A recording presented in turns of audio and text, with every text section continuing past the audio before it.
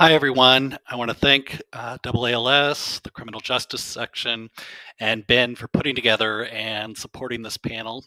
Uh, I wish I could be there with you. Unfortunately, my health doesn't permit it right now. Uh, on the upside, unlike 99% of the presenters at the conference, uh, I will be within my allotted time. Uh, so without further ado, I want to talk about some of the less obvious advantages uh, that stem from using open access casebooks. Um, so from my background first, I've, I have two uh, casebooks out there. Uh, one's a criminal law, which I'm working on the fourth edition for. And uh, then I have my sex crimes book on a seminar level course, which I'm working on the third edition. Uh, both are available very low tech uh, through SSRN. And then I make uh, related materials, including slides, course notes, syllabi, uh, teacher's manuals, uh, prior editions of the books. Um, they're available in a Google Drive folder. Um, and so somebody emails me, I email it back.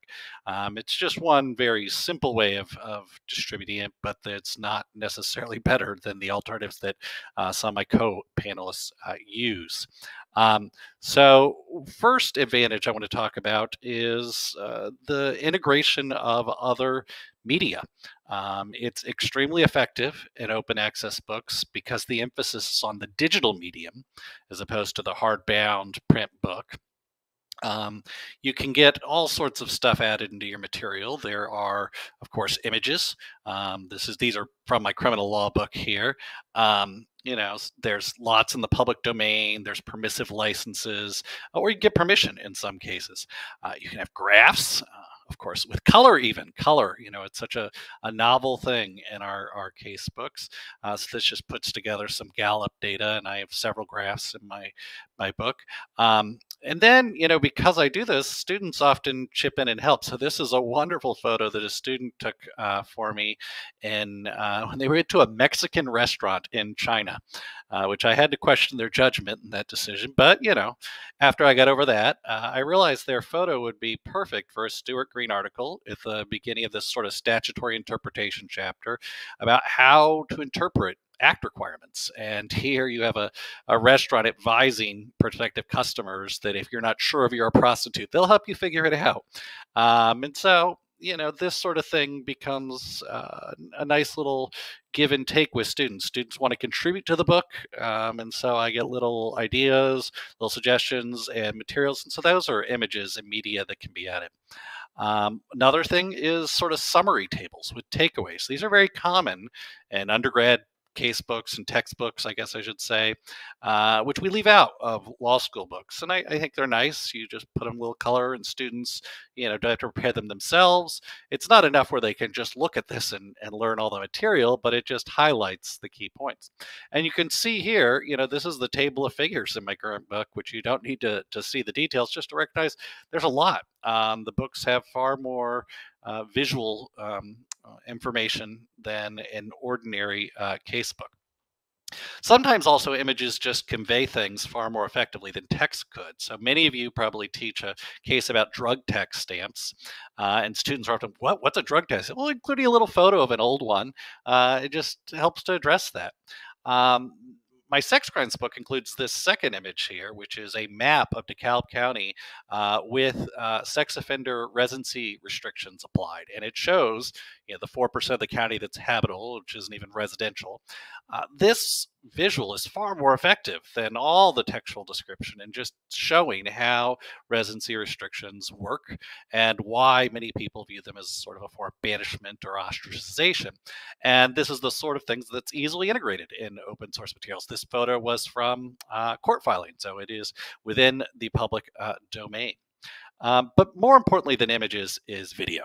And video is really where I, I've worked to create sort of a seamless integration of media and the open access text. So currently I have um, 27, 27 film clips uh, on YouTube, which are linked from the book. And you can see this is an example. There's just a, a what it looks like in the book or a view exercise. I tell them look at this clip and then apply this real world statute. And so I grabbed a statute from New Jersey because it fit well, even though the actual fact pattern's in New York.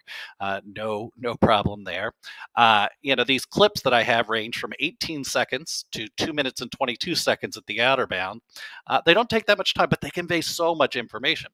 Uh, but to illustrate that, I want us to watch the video and see exactly how this works in terms of open access book to video to uh, student learning. So here is uh, uh, the clip that's attached to this statute. All right, 10 bucks. Come on, I'll take you for 10 bucks. But on one condition. You gotta promise me you don't tell anybody I took you for 10. Word gets out and I'm finished. I won't tell a soul. Okay, follow me. I'm parked down the street in a reserve spot. Let's go. Come on. Watch out! Watch out! Jesus. Watch out! Suicide attempt, right? It's bigger than I had imagined. That's true of so many things in Manhattan. And the other boroughs, too. Don't get me wrong. There's tremendous things in Queens. Go to the trunk, kid. It opens electronically from the inside. And make sure you take everything. You'd be surprised how many people are excited to be in New York.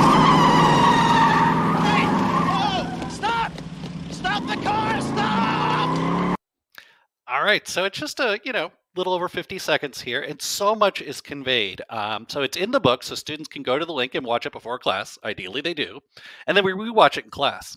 Um, a similar text-based hypothetical, uh, you know, this is from the movie The Freshman. For those of you who don't recognize it, uh, would either tend to give away the answer because you just flag it in the way you describe it, or you hide the ball too much; it's too obscure. Um, but let me let me return to the statute, uh, which is oops. all right, ten bucks. Sorry.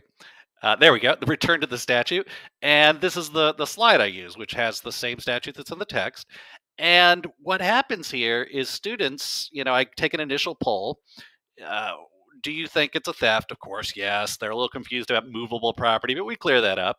the The second thing is is it a robbery? And almost always I have zero students say it's a robbery. I might get a couple, but it's not usually for the right reasons they think it's a robbery because they don't think there's any threat of bodily harm here. Uh, but this video is great at illustrating how the the that you need to consider other interpretations. And even though they've just read three cases at this point on statutory interpretation of act requirements, this exercise pushes them further. And so I point out to them you'll notice that when it says uh, purposely puts him in fear of immediate bodily injury, it refers to another, but that another isn't necessarily the same as the person experiencing theft. And there's two people in this film clip which are threatened. The one that the uh, uh, thief refers to as suicide attempt, he almost hits coming in. And then as he speeds out towards an intersection, there's other pedestrians in jeopardy. And students need to consider whether it makes sense for third parties to be included in the threats. Um, I give other examples that you know illustrate why courts in fact said that makes sense. Um, but this lesson is very quick. It's effectively integrated in the open access text, and it's far more effective than any text-based exercise I've ever tried, and it works really well. And so I have lots of these clips of review exercises and application, and this is something that's just not part of traditional casebook uh, publication. Uh, and so this is to me one of the, the benefits. And so some people, you know, just use my my film clips and use the you have to use the rest. I'll talk about that more at the end. Um, but let, let me talk about one of the other advantages that I, I really think is um, understated or not really considered, which is teachers' manuals. Uh, when I first wrote uh, my criminal law book, I, I, wrote a very traditional teacher's manual, um, sort of going through the book, highlighting some things, maybe giving some extra information. Um, but then I asked why why, why prepare it that way? Um, once we get out of sort of the bound volume, I converted things to a notes format. So this would be how I would take notes to class. Um, so a professor could just grab this teacher's manual, grab the pages, and, and bring it to class with them, or they can edit it and add. In other words, it offers a starting bit of notes or a complete set if it works for you as well as it does uh, for me. That's incredibly valuable for new professors and for people who are worried about the new prep that's involved in switching to an open access book. And you can see here when I, I return to the, the example um, we have for this is the, the teacher's manual version. I have this sort of in italics here showing how I discuss uh, the book. And, and this is sort of, you know, my favorite teacher's manual is the Dressler and Thomas uh, Crim Pro book and um, you know they often have these sort of discussions of how they teach things and i try to include that as well um, so you have your notes you know, format, and you have uh, these sort of discussions of how each of the review exercises is analyzed. And I think this is something that open access facilitates in a way that sort of a, a traditional bound teacher's manual, which you might read and then set aside. It's not in the classroom in the same way. Um, but in order for us to make um, uh, teaching in this area more effective and to make uh, open access work, I think one thing that I would I would implore and encourage everyone here is to embrace what Lessig called the remix culture. Um, you don't need to use the whole of any of the materials of any my book co-panelists. Um, I know some professors just use the examples, some use my chapters on rape, some use my chapters on conspiracy. Uh, you can mix and match our books, put them together, and form your ideal one. But more importantly, uh, you can contribute write a chapter. I don't include insanity in my book, but if you wanted to write one or if you wanted to redo part of mine, absolutely, I'll, I'll take it, give you full credit um, to make your dean happy, right? It will be a publication um, and add to the book. This is something, this form of collaboration uh, is something that open access really facilitates.